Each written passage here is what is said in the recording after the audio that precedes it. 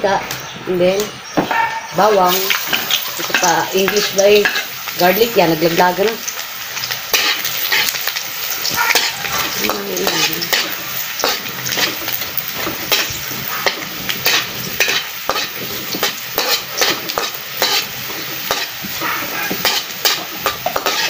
Dahil mahirap tayo, sa pugon lang tayo magaluto. Ay,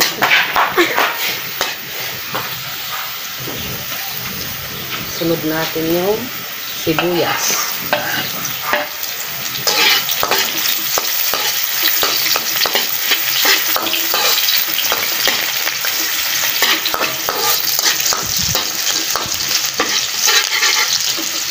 Luya.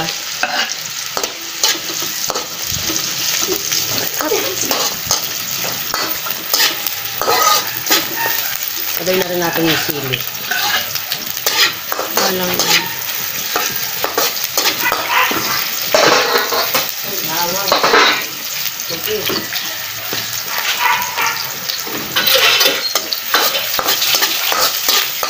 Next natin yung chicken. Uy, naka-English ako dun ah. Ang tubig eh. Ano lang yun?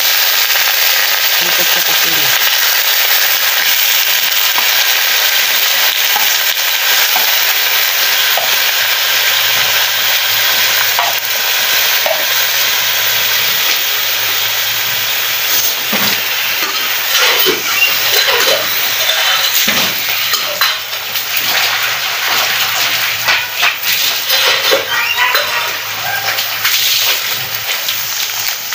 Sabayan natin ng magic sakit. para mas masarap yung lasa.